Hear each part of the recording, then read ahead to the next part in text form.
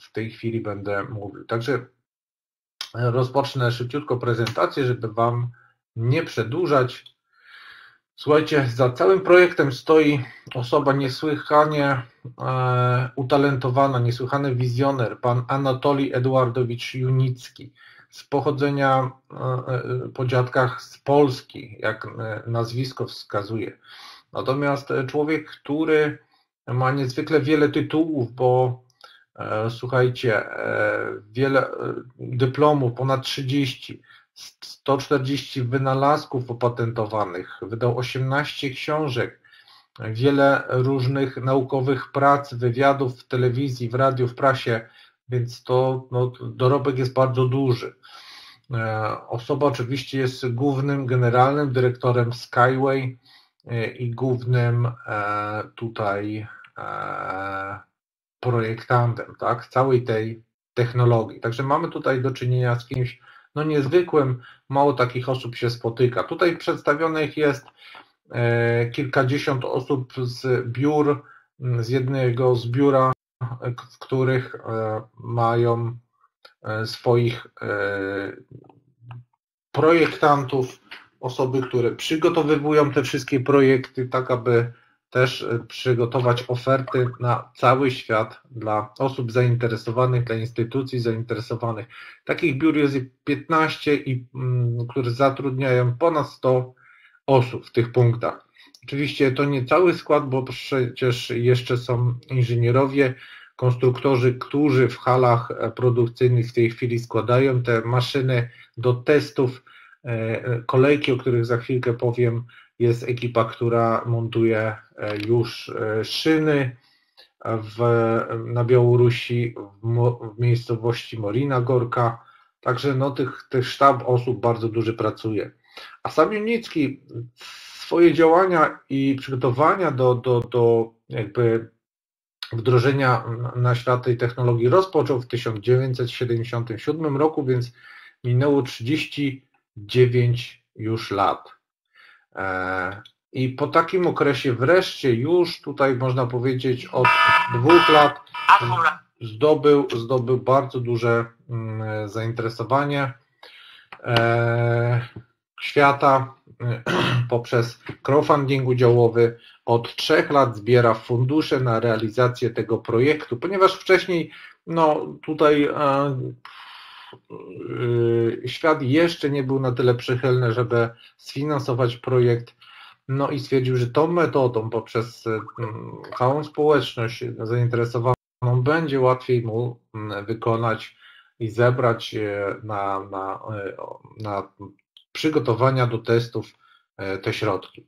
Tu jak widzicie mamy pięć takich innowacyjnych technologii XX wieku, były to maszyny włókiennicze, parowozy, koleje, prąd, e, produkcja paliwa i samochodów oraz internet. Natomiast tak naprawdę nas interesuje tutaj slajd, coś e, niedobrze wszedł, mm, jeżeli chodzi o przedstawienie, ale momencik jeszcze spróbuję bardzo szybko e, wrzucić, poprawić jakość.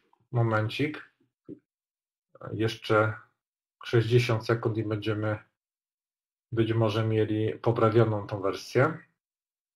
W każdym bądź razie Anatolii Junicki no, zrobił bardzo wiele i cały zespół ABEK było głośno na ten moment. I tak naprawdę już jest w wielu miejscach, na wystawach. Y, y, świat miał szansę się przekonać, co za tą technologią stoi, y, jakie to są świetne rozwiązania, i dlatego tak naprawdę już w tej chwili e, nie jesteśmy jakby anonimowi i jest tu, no, widzę, tak samo ten slajd wygląda. W każdym razie, słuchajcie, e, jeżeli chodzi o pojazdy, mamy tak naprawdę trzy modele, miejskie, transportowe i super szybkie. Te miejskie będą się poruszać e, z prędkością 150 km na godzinę, będą one zawieszone nad ziemią na tak zwanej strunie, o której za chwilkę powiem, na wysokości od 5 metrów w górę. 5, 10, może to być 30, może to być na szczytach wieżowców. Nie ma tutaj jakby ograniczeń wysokość. ale ta wysokość ma bardzo duże znaczenie, jeżeli chodzi o nasze bezpieczeństwo, ponieważ jest to ruch jakby bezkolizyjny. Pojazdy transportowe do 120 km na godzinę prędkość, dystans do 10 tysięcy kilometrów, bardzo szybki załadunek i rozładunek, e, fajne rozwiązania, pojazdy bezzałogowe, e, natomiast high speed, prędkość 500 km na godzinę, komfortowy i bezpieczny, no i oczywiście ekologiczny e, pojazd. Tutaj mamy wersję Unibig, pojazdy takie, no, można powiedzieć, spacerowe, do zwiedzania krajobrazów. Można je montować oczywiście w różnych obiektach e, turystycznych, wypoczynkowych. E, jest to napędzane e, na pedały dla dwóch, trzech, czterech osób maksymalnie. Dzięki temu mm, poprzez pedałowanie, jak na rowerze, stąd Unibik, wytwarzana jest energia elektryczna i napędzane są silniki E, z prędkością do 60 km taki pojazd powinien się poruszać. Tutaj mamy zdjęcie właśnie Unibik i z tyłu jest e, pojazd szynowy Unicar, taki tramwaj na, na, na szynie, e, on mieści do 17 osób. Zdjęcia są zrobione na targach w Berlinie 23 września tego roku. Mm, odbywały się targi InnoTrans e, i naprawdę zrobiliśmy tam duże wrażenie, jeżeli chodzi o firmę. E, pokazała firma bardzo już e, no, konkretne rezultaty swoich prac. Te modele, które tu widzicie w skali 1.1 zostały wyprodukowane w ciągu 4 miesięcy, więc bardzo szybko, a to oznacza, no, że są i mają jakby są przygotowani do do szybkiego wytwarzania tego typu sprzętu. A to tak naprawdę jeszcze nie jest masowa produkcja, tylko prototypy. Także tutaj pokazuję Wam w całej okazałości e, modele oczywiście bardzo dobrze wykonane, e, z wygodnymi siedzeniami, z pełną elektroniką, e, z panelami do sterowania, różnymi funkcjami. To wszystko absolutnie już tutaj działa. E, no i teraz dlaczego ogólnie Skyway? Ponieważ e, jest to, e, jest to kolej, która może się znajdować na każdym terenie. Można ją ustawić, może to mogą się znajdować w górach, lasach, dolinach, rzekach, jeziorach. Nie ma żadnego tutaj z tym problemu. Przęsła, które, na których się jakby wznosi cała konstrukcja, mogą być rozstawione te do, dla kolejek szybkich i miejskich, nawet 40 metrów mm, od siebie, więc e, jest bardzo duża jakby oszczędność materiału w przeciwieństwie do innych rozwiązań, e, gdzie tych podparć musi być bardzo, bardzo gęsto i dużo. Również pojazdy nie wytwarzają spalin, są to silniki tak naprawdę elektryczne, napędzane poprzez y, panele fotowoltaiczne. E, również jeżeli chodzi o y, decybele są do zniesienia e, zupełnie jakby ci, no, mm, na, na pewno jest to nieporównywalne z tymi konwencjonalnymi modelami jak pociąg, tramwaj i tak dalej, dlatego nie zakłóca się naturalnego środowiska. No i oczywiście bardzo tanie, jeżeli chodzi o koszty, o wyprodukowanie, kilkukrotnie nawet y, również tańsze od konwencjonalnych innych odpowiedników. E, bilety wiemy, że mają kosztować około 8 e, dolarów za 100 kilometrów. Tak firma przedstawiła nam to kiedyś bezpieczne, bo oczywiście zdajecie sobie sprawę, jeżeli pojazd przemieszcza się kilka metrów nad ziemią, czyli jest nad e, e, drogami ruchliwymi, nad tym całym zamieszaniem na ziemi, to oczywiście i porusza się swoim niezależnym torem w jedną i w drugą stronę, to tutaj mm, nie ma prawa tak naprawdę nic się wielkiego wydarzyć.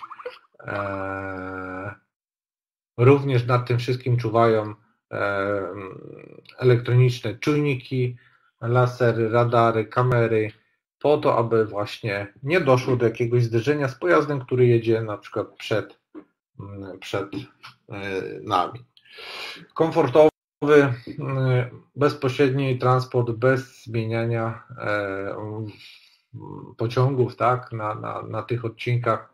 Wytrzymały konstrukcja powinna wytrzymać do 100 lat. Takie są tutaj e, parametry mm, i będzie w ten sposób to przygotowywane, wykorzystująca zasoby naturalne, życzliwa środowisku, jak już mówiłem.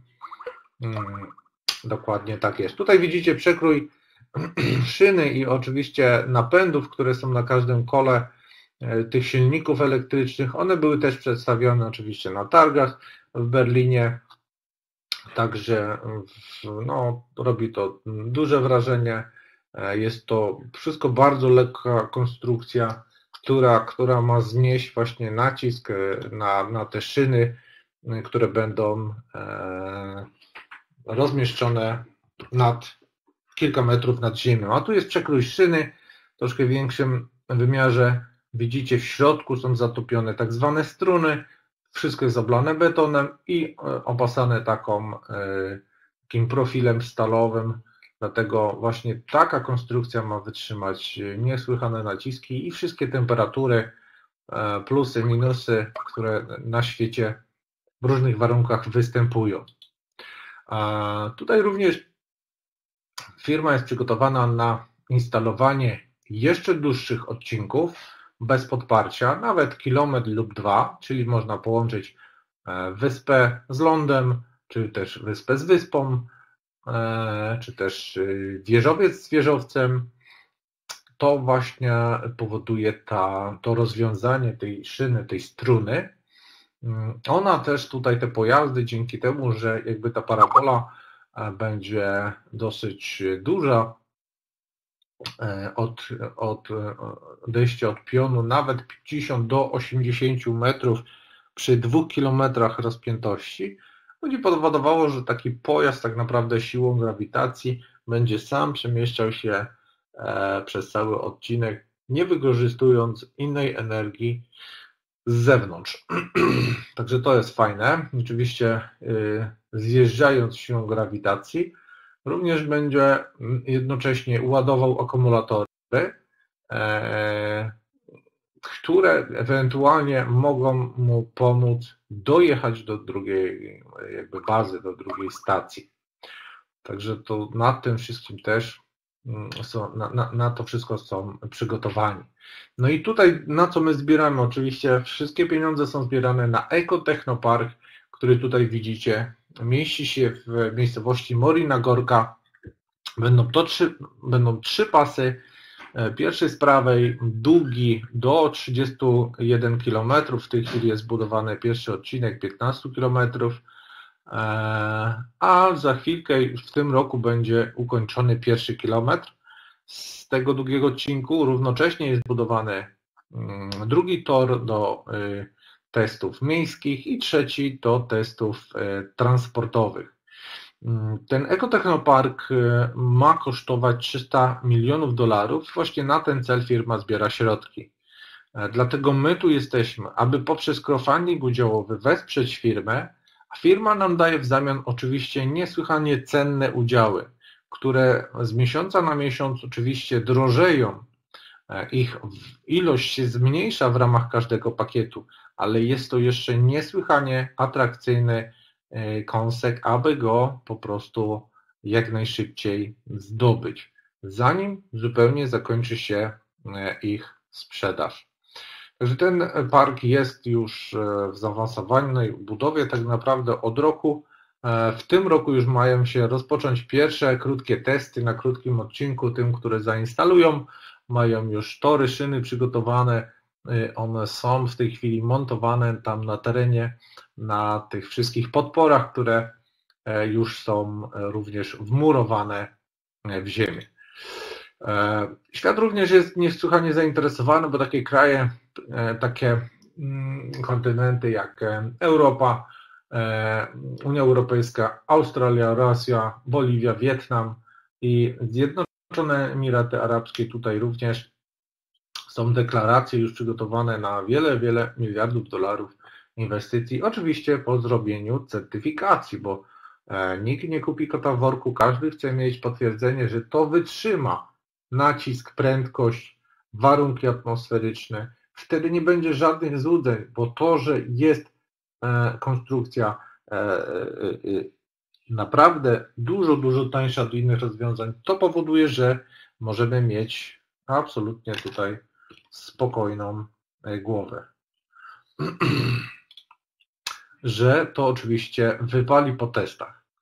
Również Arabia Saudyjska jest zainteresowana nie tylko samą koleją, ale również e, tutaj rozwiązaniami e, patentowymi związanymi z nawadnianiem i oczyszczaniem wody słonej, po to, aby użyźnić, zazielenić różne tereny pustynne, piaszczyste, tak? Więc na to też przygotowani są i na, w ramach tej samej konstrukcji, na której będzie górą przemieszczał się, e, przemieszczała się kolej, a dołem mogą iść rurociągi, które będą zraszać e, już czystą, słodką wodą cały teren. E, na to też są przygotowani i chcą wyłożyć bardzo, bardzo duże pieniądze. No i tu, jak widzicie, po, z prawej strony Anatolii Junicki, z lewej mamy pana Roda Huka. Jest to były dyrektor Ministerstwa Planowania Transportu i Infrastruktury Australii Południowej, osoba, która blisko rok temu zainteresowała się projektem po kilku rozmowach e, z panem Junickim, zarządem oczywiście wybrała się do, e, na Białoruś, poznała całą technologię, e, następnym razem, następną wizytą oczywiście przywiózł e, ekipę, która oceniła tą e, technologię i wydała jakby e, ocenę, że jest ona kilkukrotnie niższa niż rozwiązania inne konwencjonalne, tak? Potwierdzili, potwierdzili jej dużo, dużo niższy koszt pod względem budowy i eksploatacji. I pan Rothuk oczywiście po tym już e, postanowił tutaj bardzo e, poważnie, ostro wspierać całą e, firmę. Jest naszym najważniejszym, głównym przedstawicielem wam w Australii, więc mamy naprawdę ważną postać, która w tej chwili już rozpoczyna budowę ekotechnoparku tam na terenie Australii Południowej. E, również stara się uzyskać różne e, zgody, pozwolenia na budowę odcinków. Również potwierdził władzom w Australii, że e, jesteśmy tańsi niż remont taboru tramwajowego, który też tam się znajduje, już nie mówiąc o kolejowym. W związku z tym, cóż, jeżeli byśmy, jeżeli by Australia i inne państwa wybrały E, te rozwiązania na pewno zaoszczędziłyby miliony dolarów w budżecie e, państwowym. Tutaj właśnie ja jestem na zdjęciu z panem Rod Hook na targach w Berlinie. Tutaj kolega Mariusz Duczmański e, odbiera autograf od pana Huka. Tutaj jest Natalia, Justyna, ja oraz już wiadomo e, kto. Konferencja, która się odbyła zaraz po mm, e, targach, e, na których właśnie opowiadał sam Rod Hug, jak jego się zaczęła historia związana ze Skyway.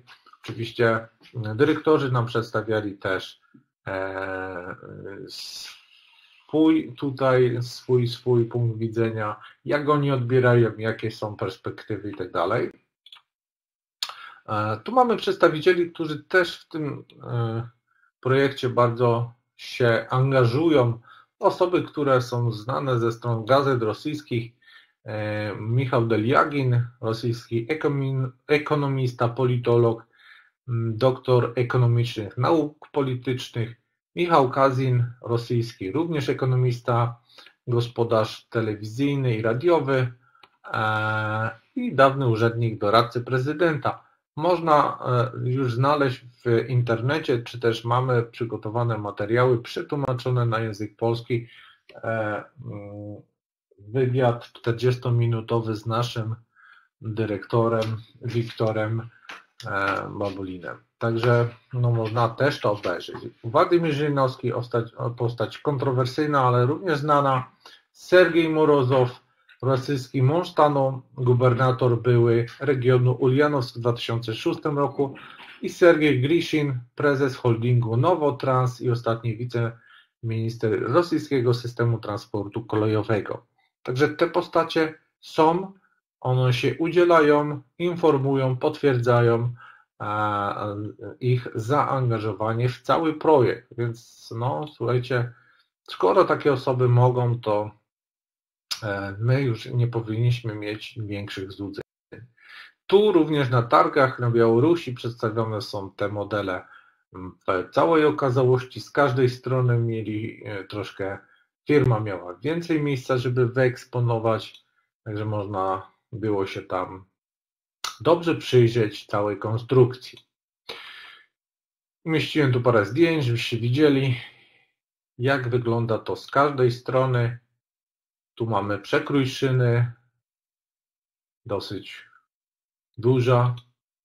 Silnik ten, który Wam pokazywałem wcześniej na slajdzie, elektryczny. Jeden z silników, tak, na jedną oś. A tu jest bardzo ciekawy pojazd, taki zwiadowczy, on może się poruszać wzdłuż jakiejś drogi, wzdłuż jakiejś linii, e, podwieszony też na cienkiej strunie. Dzięki temu może e, kontrolować, e, nadzorować obszar, monitorować na bardzo długim odcinku zdalnie z jakiegoś tam punktu monitorowego, więc dzięki temu też nie jest to sprzęt kamery statyczne, tylko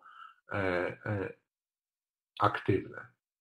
Model kolejny, miejski, który był przedstawiany.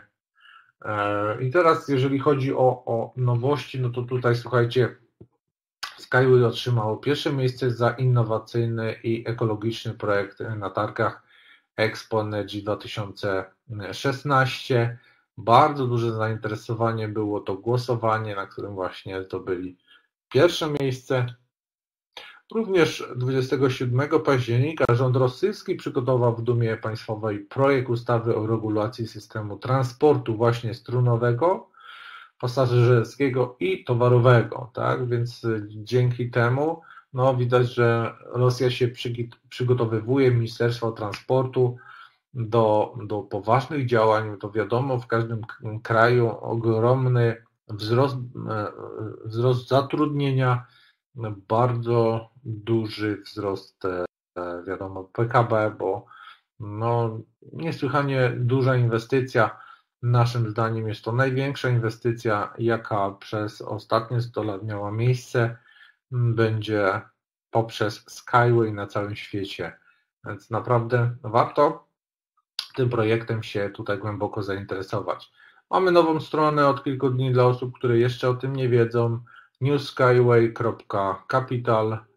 Można się tymi samymi danymi na nią za, zalogować i oczywiście e, otrzymać no, inną szatę graficzną, no, bardzo ładną również.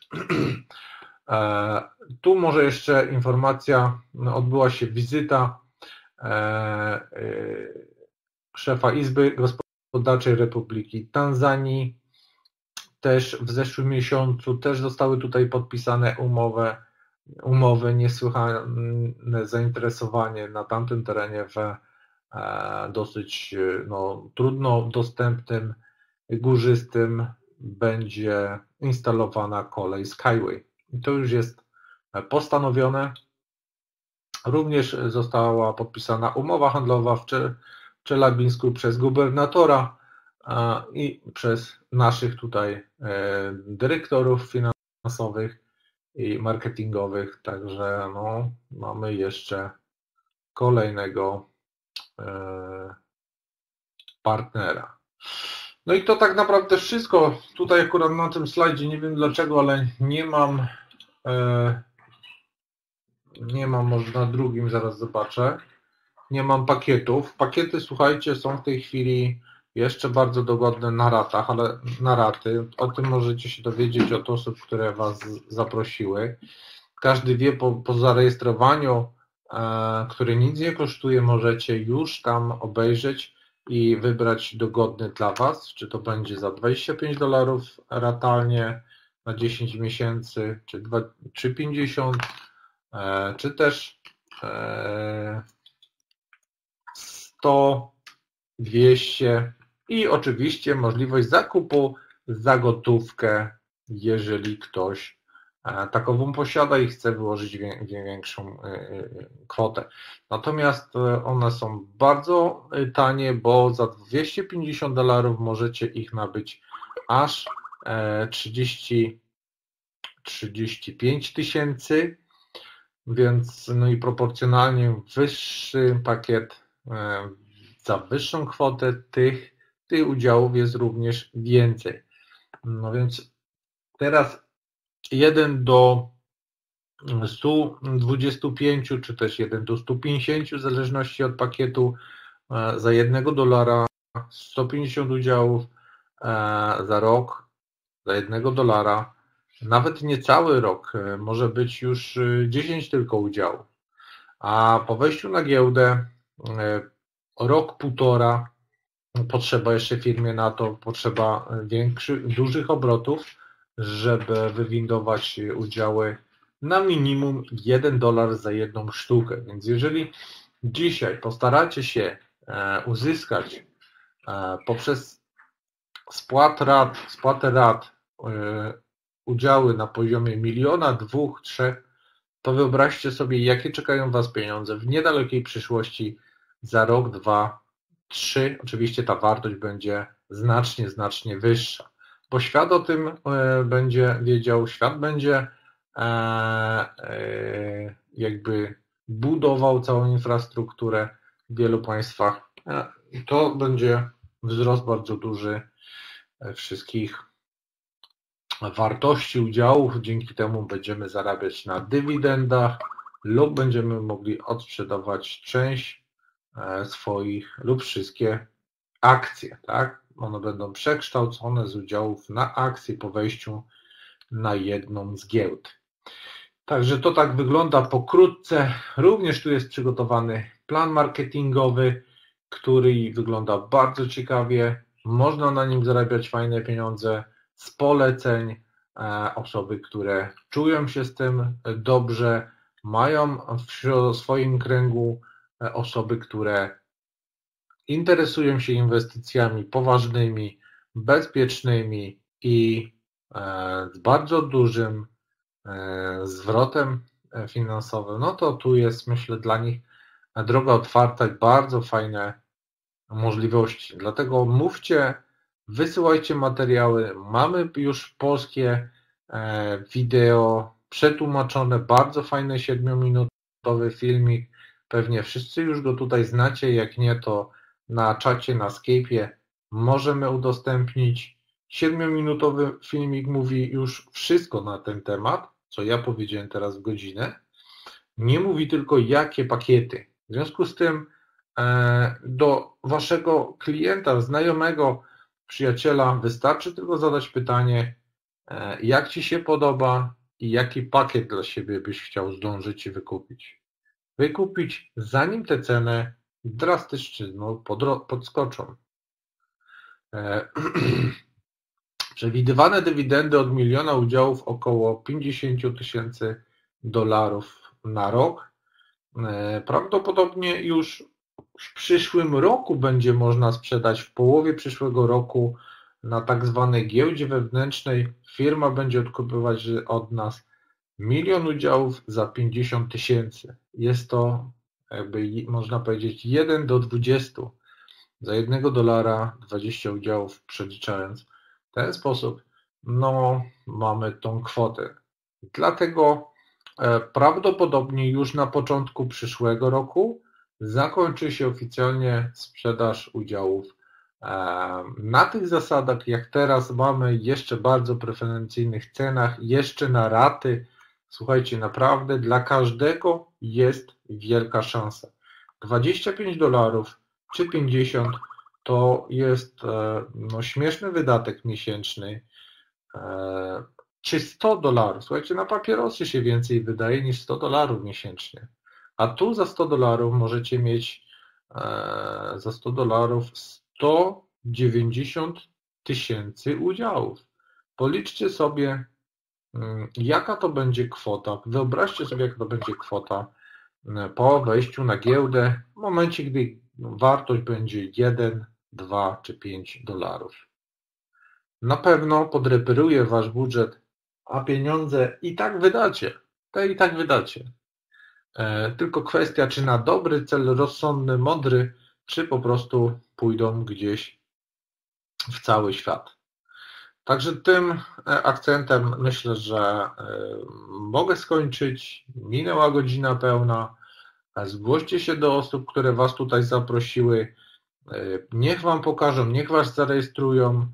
To jest ich obowiązek, bo dostają za to również prowizję, więc niech się wykażą, pokazując cały back office od środka, pakiety, możliwości oraz dokładnie plan marketingowy, bo jest on niesłychanie atrakcyjny i można na nim zarobić bardzo fajne również e, pieniądze. Oczywiście pieniądze, które możecie albo wypłacić, albo możecie zakupić kolejne udziały w tych cenach. E, jeżeli macie pytania, to bardzo proszę.